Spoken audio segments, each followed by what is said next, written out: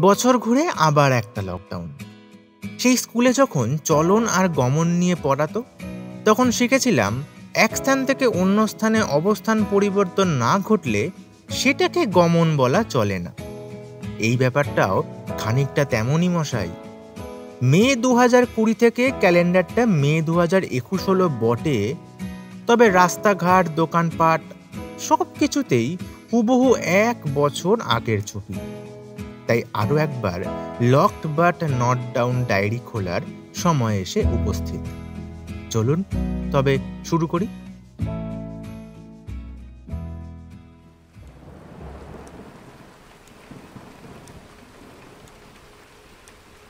Sixth June, রাত্রি দশটা বেজে বিয়াল্লিশ মিনিট। আরও একটা লকডাউনে আটকে থাকতে থাকতে আজ দুপুরবেলা হঠাৎ খেয়াল হলো অনেক দিন বইয়ের তাকে হাত পড়েনি। একে লকডাউন তাই হাতে অফুরন্ত সময়। তার মধ্যে রবিবার, সকাল থেকে একটাও মেল এসে বিরক্ত করেনি। ছোটবেলায় এই রবিবারগুলো অদ্ভুত মজার হতো। সকাল থেকে উঠে পঞ্চতন্ত্র দেখতে দেখতে আঁকতে বসা, আর জলখাবারে লুচি আর সাদা আলুর তরকারি। তারপর বয়স যত বাড়ল, রোববারও নিজের রূপ বদলাতে বদলাতে সপ্তাহের একমাত্র শ্যাম্পু করার দিন হয়ে উঠল। ঘুম থেকে উঠে বইয়ের তাকটার দিকে তাকাতেই আজকে হুড়মুড় করে কোনো একটা দরজা দিয়ে সেই রোববারগুলো আর সাথে আস্ত ছোটবেলাটাই ভিড় জমালো। মনে হলো, না, বুঝলাম অনেক দিন পর বইয়ের তাকে হাত দেওয়ার সময় এসেছে। মা ন্যাপথলিনের প্যাকেটটা কি আলমারির মধ্যে রেখেছো? কই না তো জানি না তো রে। আগের দিন গণেশ তো এসে বসার ঘরের বুকশেলফটাই রেখেছিল। একবার ওখানটায় দেখিস তো। তোমায় বললাম তো বইয়ের আলমারির প্রথমটাকে ডান দিকে রাখতে। অদ্ভুত তো। দূর। কি অবস্থা হয়ে আছে আলমারিটার? শেষ কোন জন্মে কেউ হাত লাগিয়েছিল? কে জানে? মেয়ে নেই। বাড়ির বইয়ের তাকটাও ধুলোয় লুটোপুটি খাচ্ছে। অদ্ভুত! উফ কি করছিস? তোকে আমি বারণ করলাম তো। বললাম তো আমি রান্নাটা সেরে এসে পরিষ্কার করে দিচ্ছি। তোর সয় না রে তোর। না আমার মনে হয়েছে আজকেই এই আলমারিগুলোর ঝাড়পোছ করা প্রয়োজন। ব্যাস আর আমি জানতেই চাই না। এগুলো আজকেই পরিষ্কার হবে। যা ইচ্ছে হয় কর। এই রইল সব ন্যাপথালিন আর এই রইল নেতা আর এই যে এক গোছা বই মাটিতে ফেললি সেগুলো ধুলোটা আগে ঝাঁট দিবি তারপর মুজবি গোটা ঘরে যদি কাদা হয়েছে শোনাই হবে না যাও তো। উফ খালি যাওয়ার সময় হেডফোনটা দিয়ে যাও না প্লিজ। পারব না। মাছের ঝোল পুড়ে গেলে দুপুরে আলু ভাজা আর ভাত ছাড়া কিছুই জুটবে না। সব বই খাতা মাটিতে ফেলছিস? এখন আবার কি এলো? ব্যাস, গণেশও ফিরে এলো। এদিকে মাছের ঝোলটাও পুড়ে আসছি! আসছি রে বাবা! আসছি! মা চলে যাবার পর আমি একে একে বই নিয়ে তাকে নির্দিষ্ট জায়গায় রাখছি।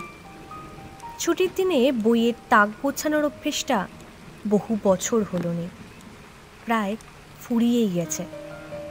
ছোটবেলায় দিদার সাথে বইয়ের ভাজে নিম পাতা রাখার যে রিচুয়ালটা ছিল, সেটা কতকটা উৎসবের মতো। গণেশ কাকা সকাল থেকে উঠেই বাগানের নিম গাছ থেকে বেছে বেছে লম্বা লম্বা থাকে থাকে সাজানো নিম পাতা নিয়ে আসতো। তারপর চলতো নিম পাতা বাছাই পর্ব।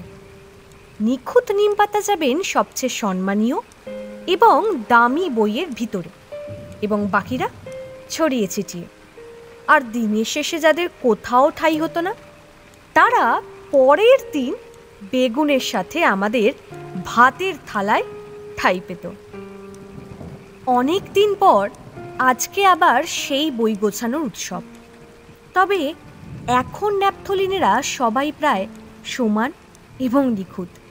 তাই পাতা বাছার সময়টুকু আর উৎসাহটুকু দুটোই বাদ পড়েছে। ডান দিকের প্রথম তাকে রহস্য গল্প, তার নিচে ভ্রমণ।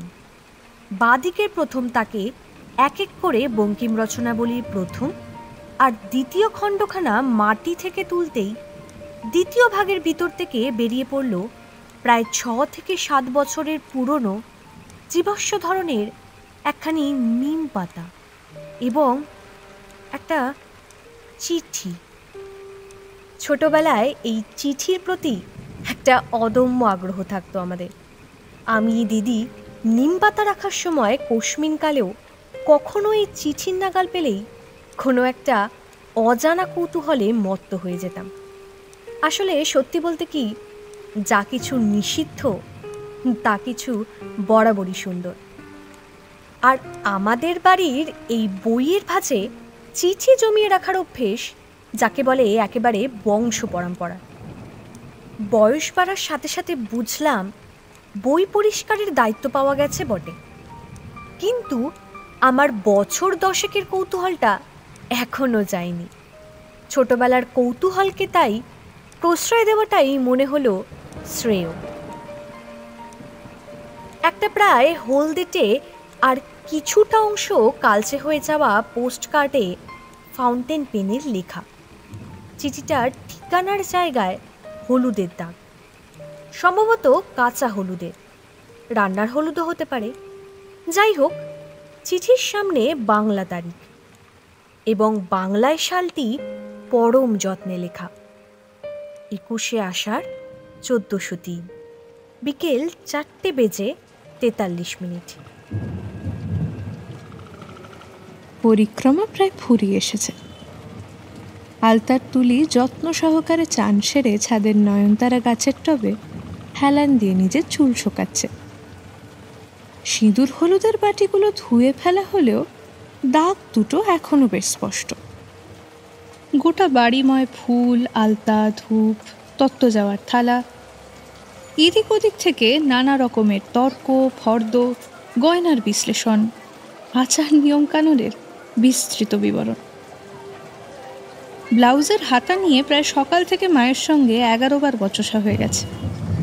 শাড়িতে ভাঁজ, শার্টের কলার মুচকে যাওয়ার চিন্তা বাড়ির সমস্ত পর্দা থেকে উঁকি মারছে। এই কদিন ছাদে নিয়ম করে বড়িয়ার আচারগুলো শুকোতে দেবে আর ঘরে তুলবে কে? বাড়ির পাঁচটা কুকুরের খাওয়া নিয়েও চিন্তা। পাঁচজনে ইতিমধ্যে টের পেয়ে গেছে বাড়িতে কিছু একটা পরিবর্তন আসছে শিগগিরই। আচ্ছা সকালে চায়ের সাথে খাওয়ার আর কুটুম্ব বাড়িতে পাঠাবার বিস্কিট একসাথে রেখে দিলে যদি তত্ত্বের সময় মিশে যায়? সকালে জল খাবার কি হবে?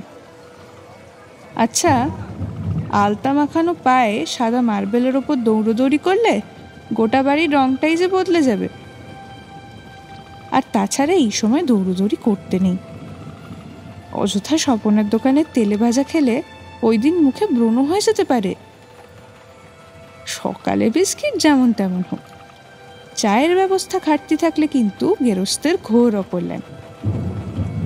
এই সমস্ত থেকে অনেক অনেক দূরে আমার মফস্বলের নোনা ধরা মেঘলা আকাশ। মফস্বলে বৃষ্টিতে যে মন খারাপ মিশে থাকে, তার কখনো জুড়ি মেলে না।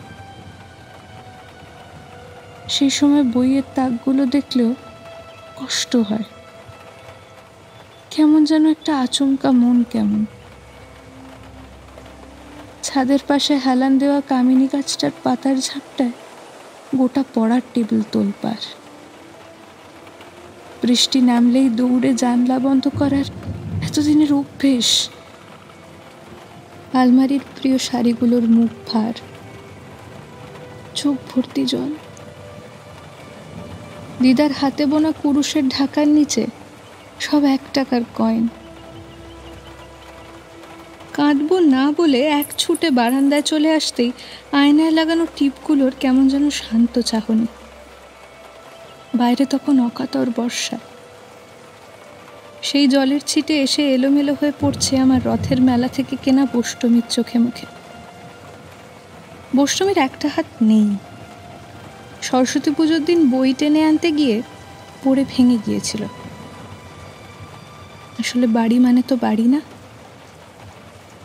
যেন নিজের মুখের আদলের থেকেও বেশি চিনি। এই মফস্বলের বর্ষা বড় বেশি এলোমেলো আর গম্ভীর। এই বাড়ির প্রতিটি ঘরের আনাচে কানাচে দাদা, দিদি, জিম্মা, বম্মা, দাদুনের ডাক। গলির সবকটা মোড়ে চেনা দোকান কাকুদের হাসি। চেনা বইয়ের দোকানে ক্যাসেটের দোকানে। খুব ভালো থেকো মা হ্যাঁ আশীর্বাদ করি অনেক ছুটি হও। ভালো থেকো মা ভালো থেকো হ্যাঁ। ছোটবেলার ডাক নামে বাবার বন্ধুদের আশীর্বাদ। আসলে মফস্বল এমন পুরনো চিঠি বই পাড়ার মতো পরিচিত। এই বর্ষা আসার মুখে গঙ্গার ঘাটে দিদার ভিড়। গঙ্গা নিমন্ত্রণ সেরে আসার পথে মিষ্টির দোকানে কিরে মেনুতে রাজভোগটা ফাইনাল তো নাকি পান্তুয়া? আমার বাবার গম্ভীর থমথমে মুখ। পিসানের চশমার ফাঁক দিয়ে নেমন্তন্নের ফাইনাল সংখ্যা বার দশে কেপাস ওপাস করছে। মেচকার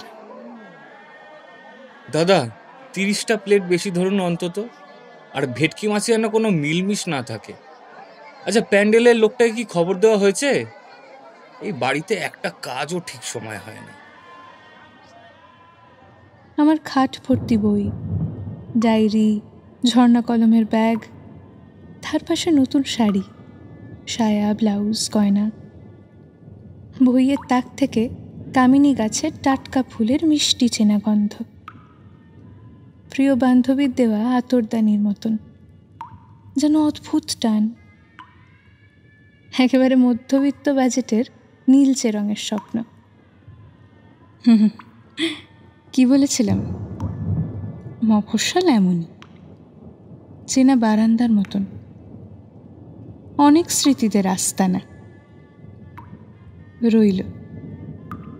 এবার থেকে এসব আমার বাপের বাড়ির গপ্প হবে। ভালো থেকো। ইতি তোমাদের আদরের বুড়ি। কিরে কোথায় তুই? কাল রাত থেকে সারা শব্দ নেই? আচ্ছা দিদি তোর মামা বাড়ির কামিনী গাছটার কথা মনে আছে? কোনটা বলতো? ওই মায়ের ঘরের জানলার পাশেরটা? হ্যাঁ আছে তো। কিন্তু হঠাৎ? না। না না। কিছু না কিছু না। হ্যাঁ বল কি যেন বলছিলিস? এই ছুটকি ছুটকি ওই ছুটকি। আরে তোর পার্সেল এসেছে তো। ছুটকি। আসছি। তুমি সাইন করে রেখে দাও। আমি আসছি। চিঠিটাকে যত্ন করে নিমপাতার ভাজে রেখে বঙ্কিম সাহিত্য সমগ্রকে যথাস্থানে তুলে রাখা হলো। আজকে একটা জিনিস বুঝতে পেরেছি। চিঠি আসলে কতকটা সময়ের তলি বা বলা যেতে পারে একটা টাইম মেশিন যার মধ্যে চেপে অনায়াসে স্মৃতির গলিতে মিশে যাওয়া যায়। ছোটবেলায় এই নিষিদ্ধ চিঠিগুলোকে এক একটা উঁচু পাঁচিল বলে মনে হতো, যার ওপাশে একটা অজানা রাজ্য, যে রাজ্যে সকলের অবাধ প্রবেশ নিষেধ।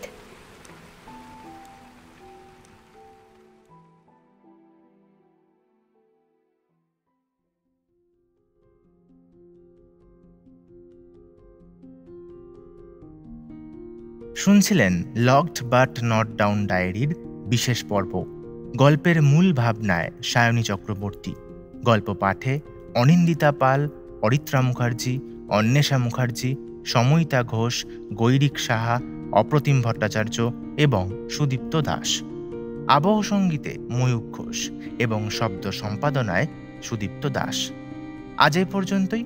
আবার দেখা হচ্ছে অন্য একটি গল্প নিয়ে। ততদিন সঙ্গে থাকুন।